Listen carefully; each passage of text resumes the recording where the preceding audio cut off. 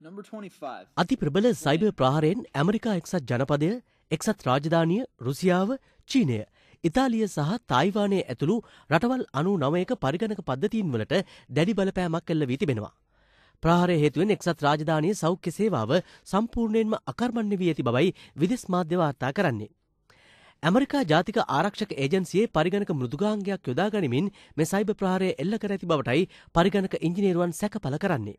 සෑම පරිගණකයකින්ම American dollar තුන්සිය තයිසියත් අතර කප්පමක් ඉල්ලමින් මේ ප්‍රහාරය එල්ල කර තිබෙනවා. ඇතැම් පුද්ගලයන් එම කප්පම ගෙවා ඇති බවත් විදිස් මාධ්‍ය වාර්තා කරනවා. රුසියාව එක්සත් රාජධානිය සහ තායිවානය මේ ප්‍රහාරයේ ප්‍රධාන ඉලක්ක වී තිබුණා.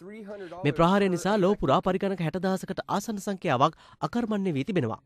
තවමත් මේ ප්‍රහාරයේ වගකීම කිසිදු සංවිධානයක් බාරගෙන නෑ. සයිබ ප්‍රහාරයෙන් ශ්‍රී ලංකාවේ කිසිදු පරිගණක පද්ධතියකට හානි වී නොමැති බවයි පරිගණක ආරක්ෂක ඉංජිනේරු රොෂාන් චන්ද්‍රගුප්ත මහතා පවසන්නේ. මේ සම්බන්ධයෙන් ඔවුන් අවධානයෙන් සිටින බවත් ඔහු සඳහන් කළා.